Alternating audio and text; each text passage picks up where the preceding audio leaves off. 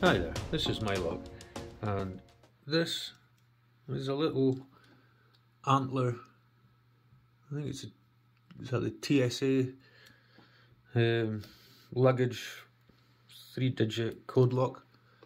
Um, it's easily decodable. Um, if I can find the one that'll, so there we go. And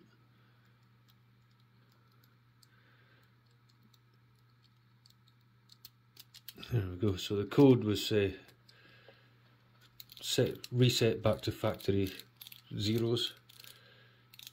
So, um, but you can you can feel every single one. It's not it's not difficult. I'm not going to randomize the the code and and do it again because you all know how easy these are.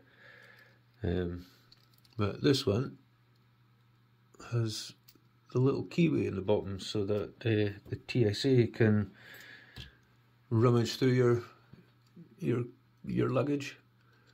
So I'm going to try and open the lock using that, but we will see. You don't don't even need a key. I did that with this, the little flexible SouthOrd tensioner.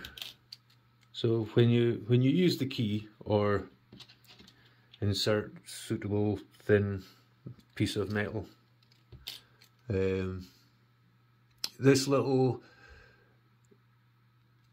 it doesn't pop the shackle. The shackle is still in the locked position, but it lowers the little shoulder, this ring here, that little shoulder lowers when you use the key. So I now have to lock it back up using the same the same method. So we'll try and hold that there. And we will give it a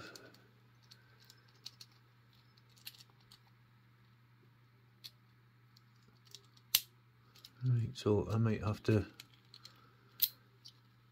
I might actually have to get a pick in there and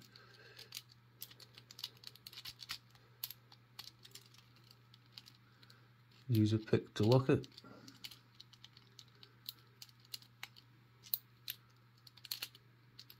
I'll try and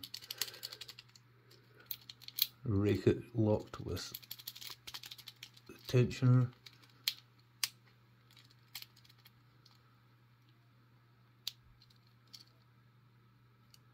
There we go. If I'd been, so we can see that the shoulder has popped back out and there we are. If I'd been turning, if I'd been turning the tensioner in the right direction, I think that would have gone a lot, a lot quicker and smoother. But yes, these do not secure your luggage, not not by any stretch of the imagination. Um,